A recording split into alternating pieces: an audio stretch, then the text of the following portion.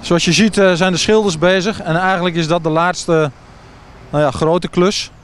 Ze moeten de oude verf eraf halen en daarna gaan we hem opnieuw sauzen. Dus de, de, de, de witte kleur komt gewoon weer terug. Dus voor de mensen die al geschrokken zijn, de witte kleur komt gewoon terug.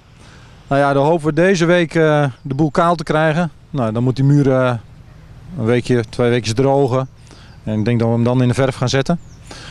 En eh, komend weekend gaan we nog eh, aanplanten. Dus er komt vrij veel plantgoed nog eh, deze kant op. Dus dat zijn eh, eigenlijk de twee dingen die, eh, ja, die nog gebeuren moeten. En dan hopen we in de loop van volgende week eh, koffie te kunnen gaan verkopen. Noemen. Maar zoals je ziet, hè, eh, de verharding, de, bestrating ligt erin. Ik denk dat er zo'n beetje 1000 vierkante meter aan eh, bestrating ligt. Klinkers, tegels, terrassen. Eh, rond de parkeerplaats is de, zijn de, de, de heggetjes aangebracht, de beukenheggen. Er zijn wat bomen alvast geplant. Als we helemaal aan de andere kant van het gebouw kijken, dan is er een eh, soort eh, geluidswal langs het spoor gelegd. Nou, die gaan we van het weekend inplanten. Je ziet dat er rond de schuur is verharding aangebracht. En wordt nu ook nog hard gewerkt om het, het, het groen in orde te maken. Je ziet hier die paaltjes langs de, de, de oprit, zeg maar. Daar komen nog eh, lampjes verlichting op. En dat loopt ook helemaal door eh, ja, over de parkeerplaats. Zodat je ook een goede buitenverlichting hebt. En eh, zo gauw het, eh, het, het restaurant, het gebouw zeg maar, eh, in de verf zit, dan komt daar ook weer eh, verlichting langs de muren. Zodat het gebouw nog mooier eh, ja, tot zijn recht komt. Nou ja, en eh, misschien moeten we even binnenkijken Jan, want daar, daar is het nodige gebeurd de afgelopen weken. Ja Jan, dit eh, is gigantisch veranderd met eh, zes weken geleden. Je, ziet dat eh, alle muren zitten in de stuk, zijn geverfd. De vloer ligt er prachtig in. De tafels zijn erin gezet. De gordijnen hangen, de lampen hangen. De, de bar zit erin. Als je goed kijkt dan zie je dat het koffiezetapparaat er staat. Dat de kassa gisteren gekomen is. Dus nou, er moeten nog wat kleine dingetjes aangesloten worden. Maar het is bijna zover om de mensen te ontvangen. Dag, ik ben Rick Poort, ik ben 26 jaar en ik eh, doe je dagbesteding. Eh, dagbesteding is eh, een beetje helpen met klussen zoals tafels maken.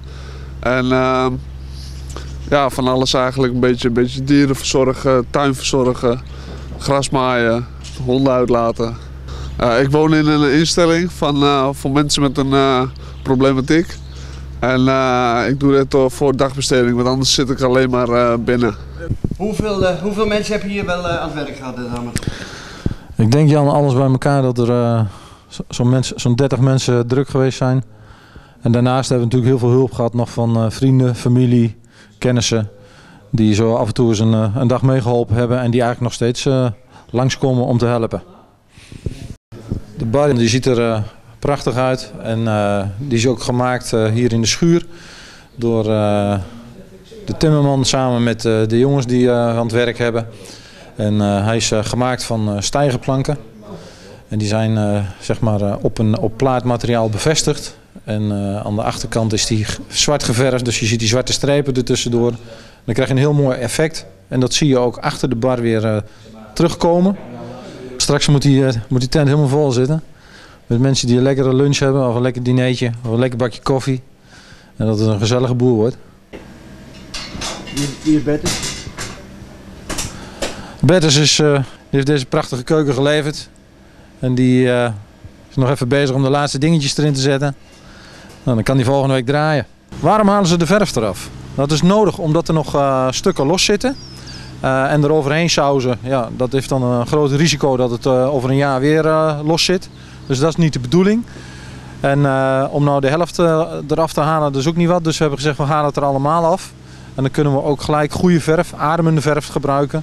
Echt van deze tijd hè? en ook milieuvriendelijk materiaal. Nou, maar een heleboel mensen denken dat de gemeente dit betaalt. Is dat zo? Dat de gemeente dit betaalt. Ik wou dat het waar was Jan, maar dat, dat is niet zo. Wij eh, financieren dit eh, volledig zelf. Ehm, het enige wat we gedaan hebben is een klein stukje grond aan de gemeente verkocht. En dat kun je aan de voorkant zien, hè, want daar loopt nu een trottoir langs.